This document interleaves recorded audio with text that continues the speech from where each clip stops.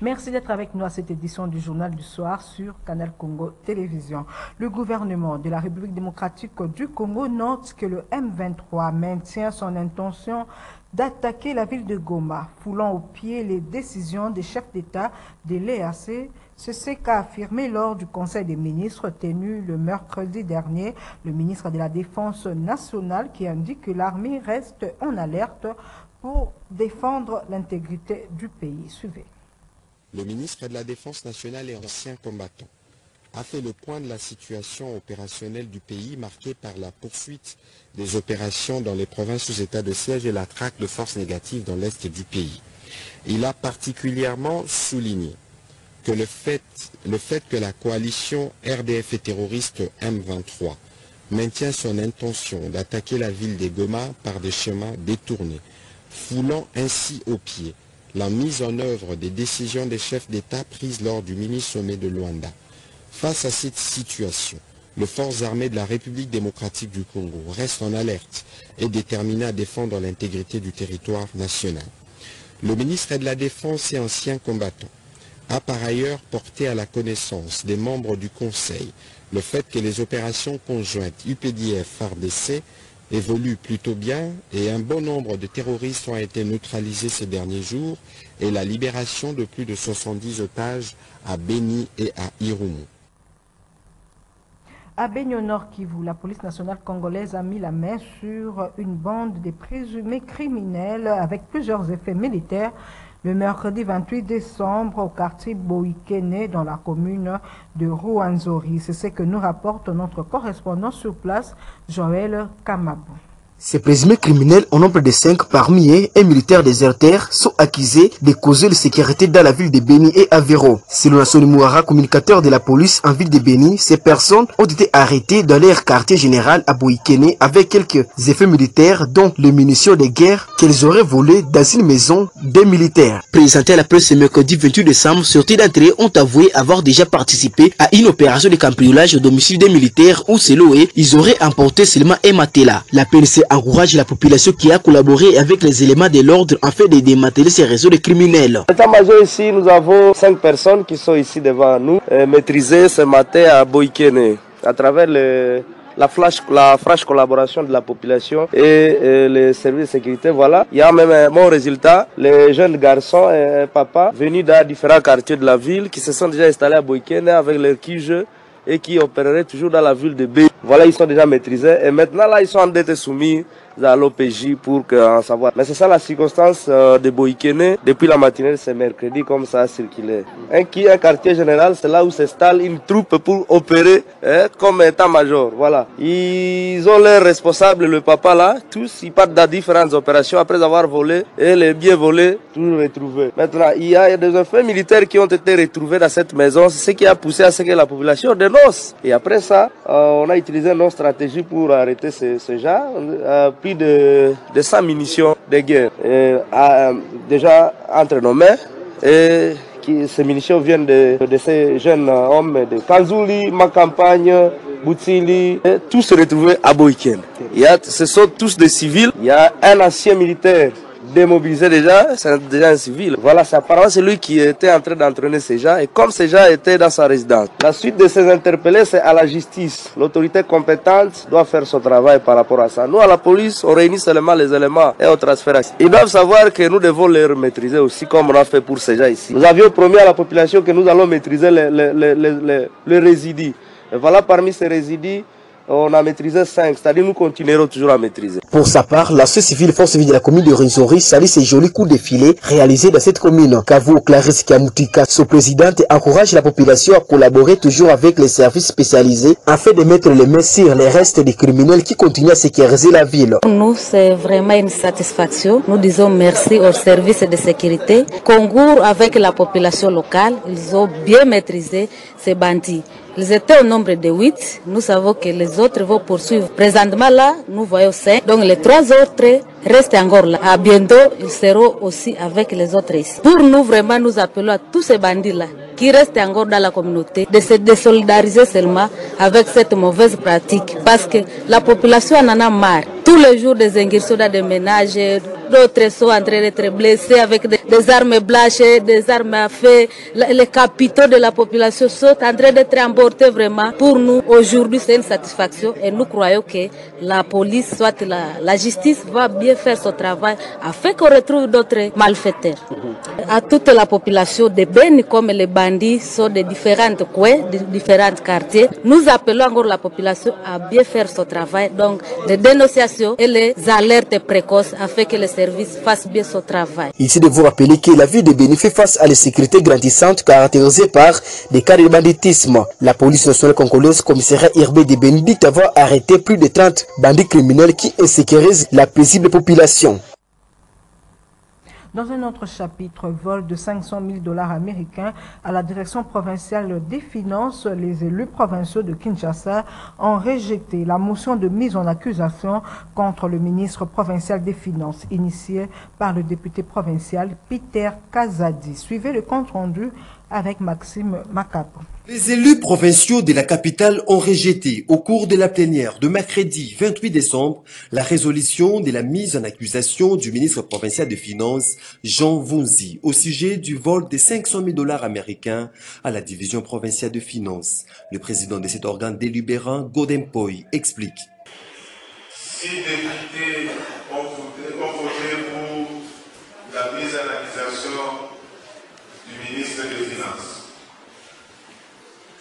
Trois députés se sont abstenus, 31 députés se sont opposés à ces poursuites.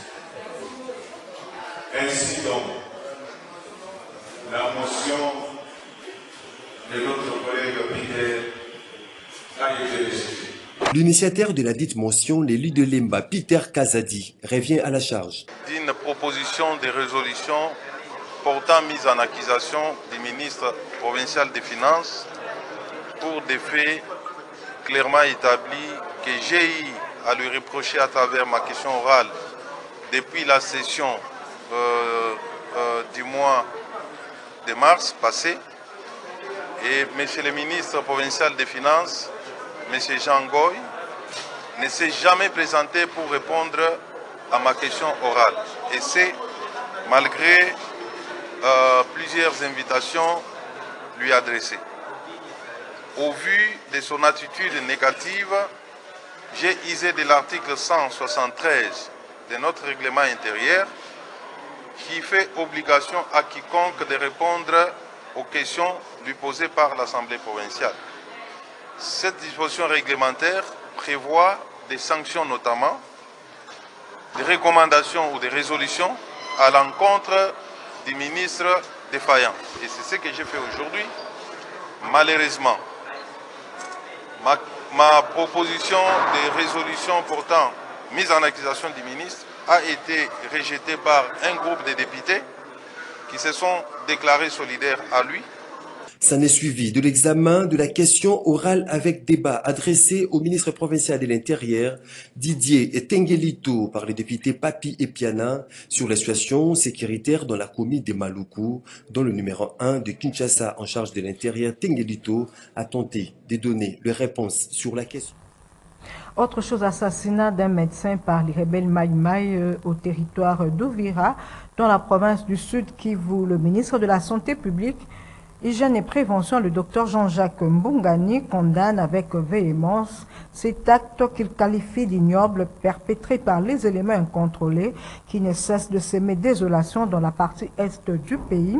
Ainsi réaffirme-t-il le soutien aux FRDC qui sont engagés au front pour défendre l'intégrité territoriale. Suivez plutôt ces propos recueillis une fois de plus par Maxime Macab. Le ministère de la Santé publique, Hygiène et Prévention a appris avec consternation l'assassinat d'un médecin par les rebelles Maï Maï ce dimanche 25 décembre 2022 au village Nalumbwe 1 dans le groupement Kijara à la chefferie de Bavira dans le territoire d'Ouvira, précisément dans la province du Sud. À cet effet, il est déplorable de constater ce genre de crime odieux à répétition dont les professionnels de santé sont victimes innocemment et pris pour cible depuis un certain temps dans cette région. Nous condamnons avec véhémence Cet acte ignoble perpétré pour la énième fois par des éléments incontrôlés qui ne cessent de s'aimer désolation dans la partie est de notre pays. En ce moment douloureux, le ministère de la Santé publique, Hygiène et Prévention présente ses sincères condoléances les plus attristées à la famille et aux collègues ainsi qu'aux proches de l'illustre disparu. Toutefois, nous réaffirmons notre soutien aux forces loyalistes de la République démocratique du Congo qui sont engagées et mobilisées de bien défendre l'intégrité territoriale et d'assurer la sécurité des Congolaises et Congolais contre toute agression ou attaque d'où qu'elle vienne. Grâce à la détermination de tous, l'Est de la République retrouvera sûrement la paix et la stabilité.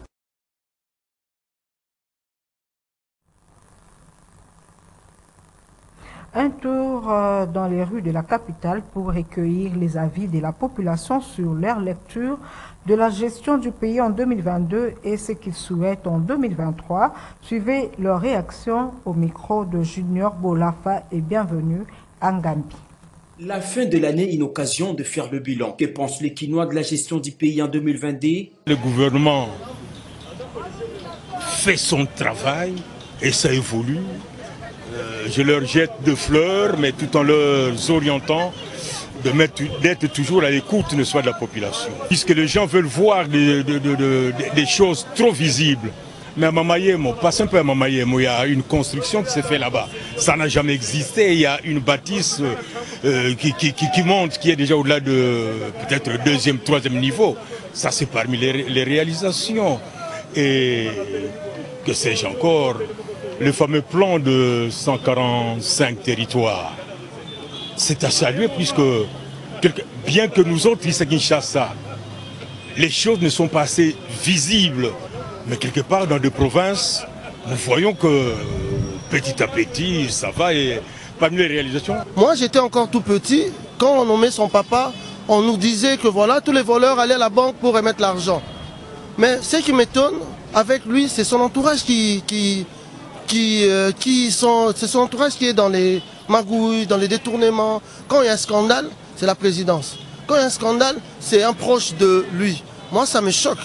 Vous voyez qu'il a la volonté de bien faire, mais le casting, son entourage, là, ça me, ça me décourage un peu. Bon, bah, bien fait, oui, Félix euh, Asali, na mandat oyo oyo esi eleki na oyo na ndenge tomoni batrouble banini mais amaîtrise eh, mingi côté ya este kote wana tuka tozoswete makambo wana esila. Mpo population ayeba kotambola bisika nyonso. Ozala na probleme te nini te lokola barwandais ndenge babandaki koderange biso mingi me kote wana amaîtrise oyo eza keno etamboli mpenza malamu te na kati na biso awa. Kote ya transport. Euh, fixation ya transport que non euh, Kingasani ou bien donc dans toutes les provinces il faut gouvernement à maintenir prix ya transport parce que eza bacivile bakomi kosala selon volonté ya mutu. Aza na mutuka na ye akotia prix selon ndenge alingi mbula soki ebeti okotambola lisusu te na kinshasa qu'attendent les quinois de la gestion du pays en cette nouvelle année 2023 Pour l'année 2023, je pense qu'il faut qu'il y ait un sens de suivi. Je prends le cas de l'IGF, qui a fait des réalisations chiffrées. Mais jusqu'à la fin, on, je ne sais pas ce que l'IGF a récolté comme fruit, ce que l'IGF a déposé au trésor public. Espérons que euh, l'année prochaine, cela sera, ça, va changer par rapport à aux conditions sociales, parce que le Congolais, sincèrement, ne vit pas, il vivote. Il faut changer vraiment cela. On compte sur lui. Surtout qu'on a toujours dit que le Congo n'a jamais été dirigé par un Congolais. Lui, c'est un Congolais. Le Congo n'a jamais été dirigé par un Quinois. C'est un Quinois. Donc il doit savoir qu'il porte l'espoir de 80 millions de personnes. Biso Tolingi, Sikoyo, euh, président Félix Antoine Tshisekedi, apesa biso sociale sikoyo population ya kovivre La République démocratique du Congo, pays potentiellement riche, a une population pauvre.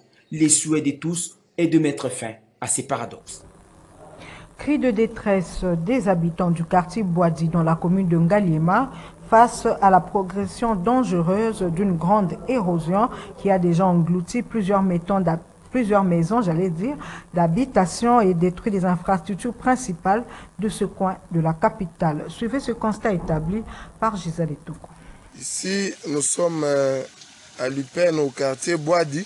Si l'on y prend garde, le quartier Boadi dans la commune de Ngalima risque de disparaître. Ceci face à cette dangereuse érosion aux dimensions explosives qui progresse, ravageant ainsi les habitations et détruisant les infrastructures. Les pluies qui s'abattent dans la capitale font craindre le pire, d'où le cri de détresse de la population. Nous sommes euh, à Lupin, au quartier Boadi. Et L'érosion est en train de menacer ces quartiers de disparition. Depuis que nous sommes en train d'alerter les autorités, jusque-là, il n'y a pas de solution. Regardez maintenant, après la pluie de ce mercredi 28 décembre, cette érosion s'est encore ouverte grandement et c'est grave.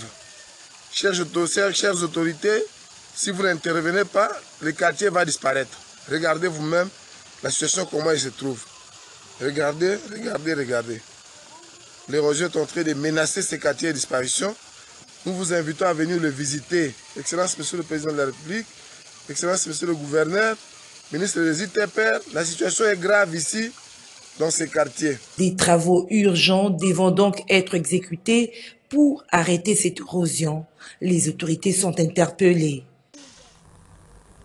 Rendons-nous à présent au marché Gambila situé dans la commune de Kassavubu à quelques jours de la fête de la Saint-Sylvestre alors qu'une ambiance inhabituelle y règne liée à l'engouement de la population. Les commerçants par contre se plaignent curieusement de la mévente. Suivez le reportage de Junior Bolafa et bienvenue à Ngambi. À quelques jours de la fête des Nouvel An, une certaine ambiance est observée dans les principaux marchés de la ville de Kinshasa. Des commerçants proposent jouets et habits pour enfants, même sur le trottoir de la ville. Les commerçants ont changé leurs marchandises et proposent celles qui se conforment aux fêtes, aussi des accessoires pour la décoration, notamment sapins et autres. Cependant, plusieurs vendeurs rencontrés au marché Gambela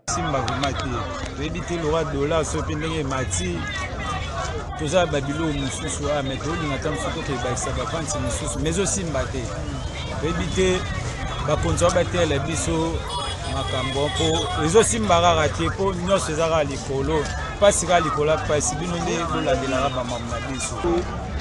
Pane yo moto otali bapopera mosusu baza so baawa baoteka biso tosala cope mena yebisa yo donc. Nayebi te nabenga ngo nini? Circulation mbongo eza toyebi te eske bato bafuti bato to te poso ezoyebana te mpo nde ezalaka badécembre misusu osanti mwa mouvement mwa nini oyo banda tokota donc nayebi biso année oyo rien vraiment. Rien na rien. Depuis tobanda na janvier jusqu'à maintenant pale tomona circulation yo moko journaliste ozomona circulation eza te mbongo ezomonana te tozokomprendre te fati afuti bato mbongo bato bazwi bambongo mais sikoyo biso tema totekaka na bawenze kokemba na kokemba pasi na pasi misi Toutes mes excuses pour ces désagréments techniques. Il s'agit là du marché de Matete et non de Gambela, comme je viens de le dire tout à l'heure. Et puis, à travers ces communiqués, le coordonnateur de l'association sans but lucratif, les amis de maman Liliane Bemba adressent ses remerciements à tous les points focaux de cette organisation, aux cadres et militants du mouvement de libération du Congo MLC, ainsi qu'aux amis et connaissances pour leur soutien tant financier, moral que spirituel, intervenu lors du décès de maman Marie Lukula, membre active de cette ASBEL dont l'inhumation a eu lieu le mardi 27 décembre 2022. Ce communiqué est signé Adélar Ikassa, coordonnateur de l'ASBEL, les amis de maman Liliane Bemba. C'est par ici que nous mettons un terme à cette édition du journal sur Canal Congo Télévision. Euh, merci à tous de l'avoir suivi. Je vous retrouve demain à la même heure et sur la même chaîne. Au revoir.